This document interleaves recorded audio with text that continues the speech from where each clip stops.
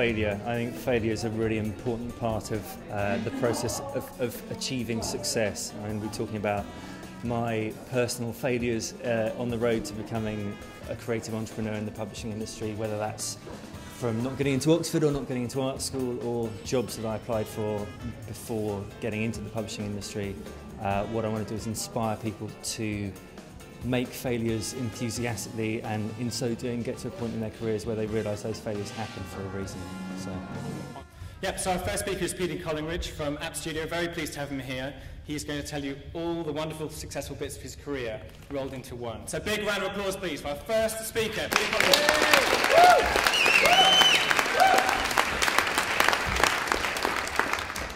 Got a 21 second countdown on here. So, okay, I'm going to be talking to you about failure today. Um, when Doug asked me to do this, I knew that uh, I wanted to talk about failure because it's a really important part of anybody's career. And I think since then we've had the failure of the banking system, which kind of makes my failures look rather like minor disappointments. But I would say that today what I'm going to do is, is try and encourage you to fail enthusiastically and find success.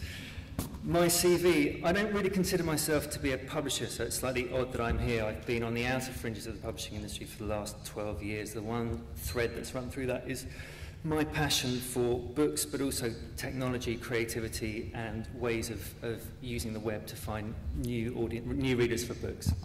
Um, how did I get here? Well, I failed to, to get everything that I wanted when I, when I was a lot younger. If you'd asked me when I graduated what I'd be doing, I wouldn't be living in Acton for a start. Um, but I'm actually very happy doing beautiful things in my life. Um, the interesting thing about this map is that Harry Beck, the guy that designed it, did it speculatively uh, for London Underground, and he failed to get it seen. Ooh, failure.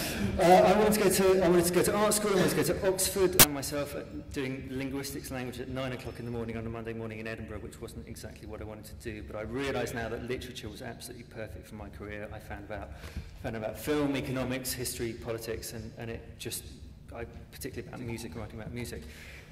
As any good literature student would, I wanted to go to Paris. I failed to get into Paris because I dropped French Vienna. The only requirement for the University of Vienna was the ability to speak English, which I didn't fail at.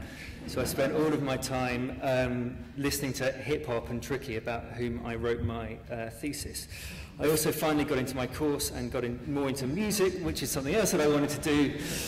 Uh, suffice to say, being a DJ in a scratch jazz hip hop band wasn't really compatible with working in publishing. Uh, so I gave that up as well and was really worse than a drummer in it. I still DJ at book fairs tonight at the Canongate party, but that doesn't really count.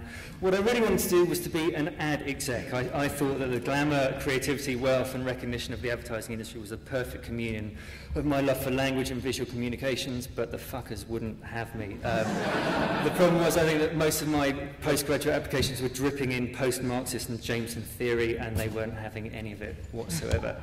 I applied for a load of jobs and didn't get any of them. I had no interest in publishing whatsoever.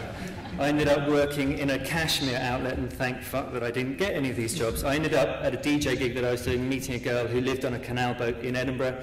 Turned out she was an editor at Canongate Books. She got me in for an interview to the company where I soon realised that I knew Jamie at the time. Um, Canongate was a very small outfit. Its most visible part of it was Rebel Inc, which published Irvine Welsh. And as far as my parents were concerned, who were supporting me on the £10 a day that Canongate generous, generously paid me, it was, a, it was a smacky place publishing the odd pamphlet. But actually, Canongate taught me more than anything it could have done about being a maverick, having great ideas. One of the great ideas was the Pocket Canons, which was a brilliant, beautiful, and audacious repackaging of the Bible. It taught me the power of ideas and how you've just got to have the vision to get something through.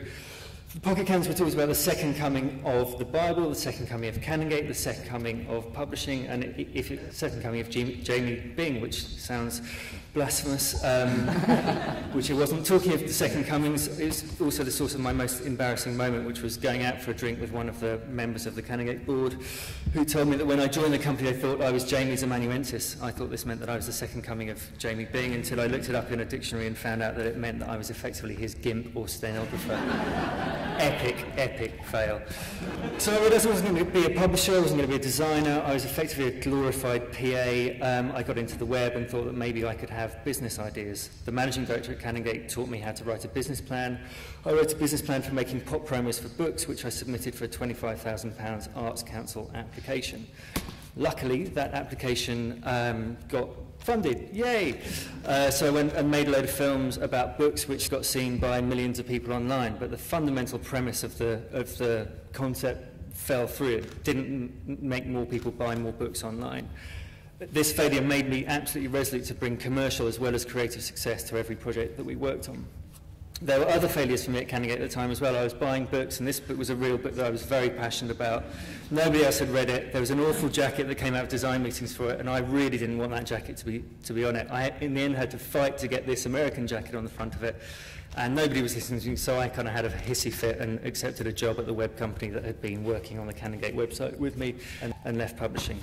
Left publishing to go to a dot-com company in the middle of the dot-com bubble. Um, nice work.